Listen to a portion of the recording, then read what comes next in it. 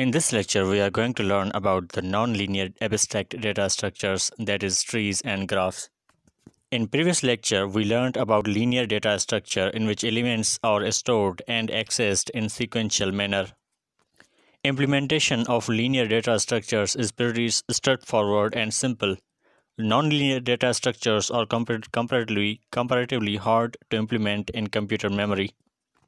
Nonlinear data structures use same kind of linear data structures to implement different kind of behavior and properties in computer memory.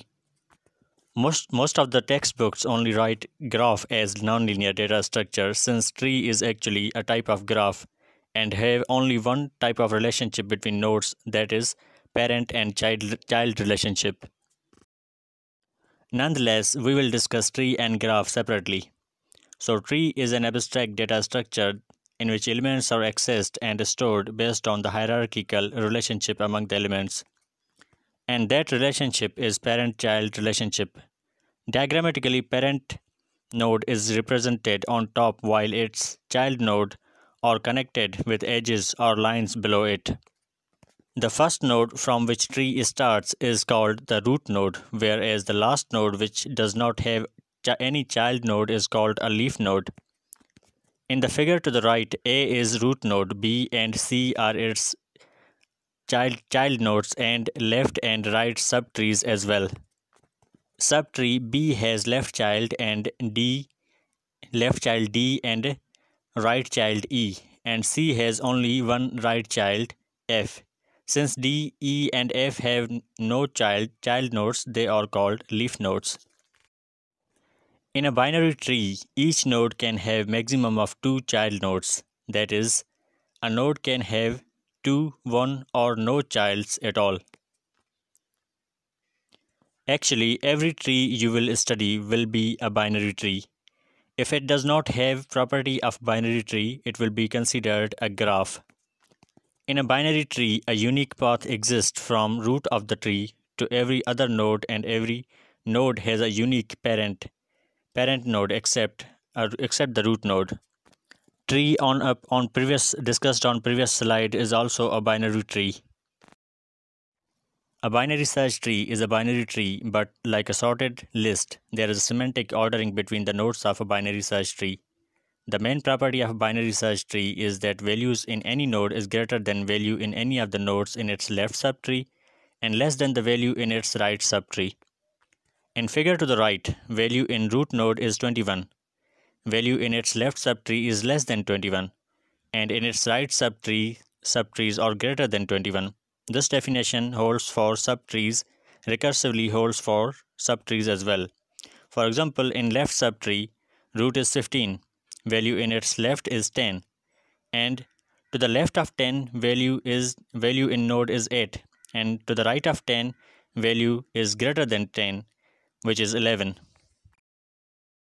These are the abstract steps of an algorithm for searching an item in a binary search tree and inserting an item in the binary search tree. While searching an item, if tree is null, a false value is returned. Returned. If not, we will compare the item with the item at the root. If item matches, result is returned as true.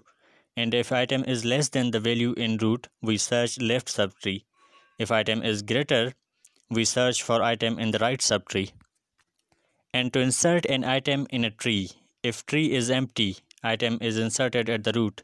If not, item is inserted to the left if it is less than the root. And item is inserted to the right if it is greater than the root. A graph is a set of nodes and edges. Edges or links connect nodes with one another. In a tree, Edge represents a parent-child relationship, but in a graph there are more than one kind of relationships. Nodes in a graph are often referred to as vertices or vertex, and nodes can represent any object or element, whereas edges or arcs can show direction, relationship, and weights or values between nodes. Directly connected nodes by a single edge are called adjacent nodes and a path between two nodes is a sequence of vertices that connect two nodes. Graph in first figure shows a simple graph with nodes and edges. Graph in second figure shows relationship among different people. And third graph shows flights from one city to another and it also shows distance between the cities as well. And coming back to the types of graph, there are three kinds of graph, a directed graph, undirected graph and weighted graph. In a directed graph, edges show direction from one node to another.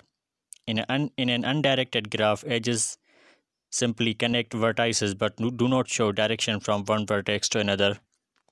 In a weighted graph, values are attached to the edges. These values may be, for example, distance between cities, time of travel or some other factor between edges between vertices.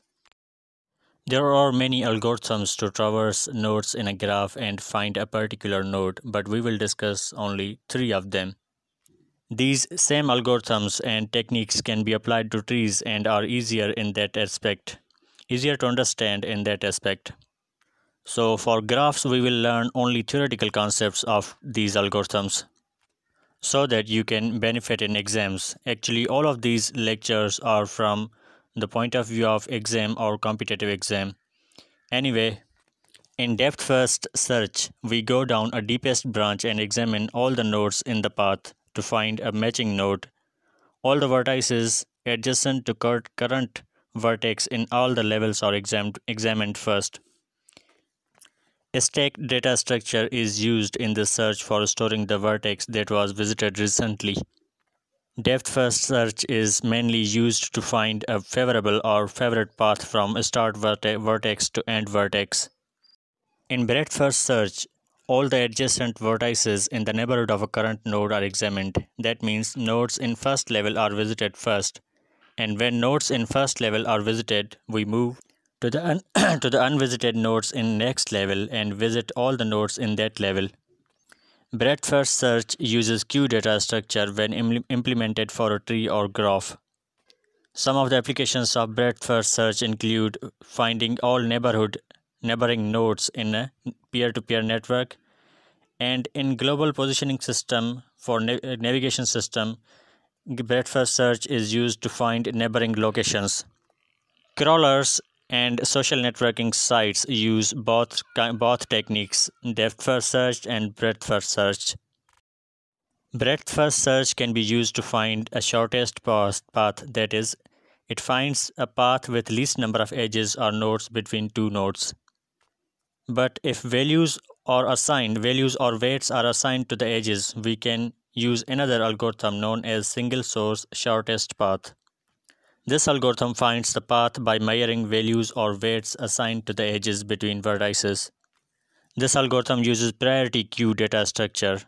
Since in a priority queue, element with highest priority is served first, an edge with lowest value to destination is served first in single source shortest path. That's all in this video. Subscribe and watch more to learn more.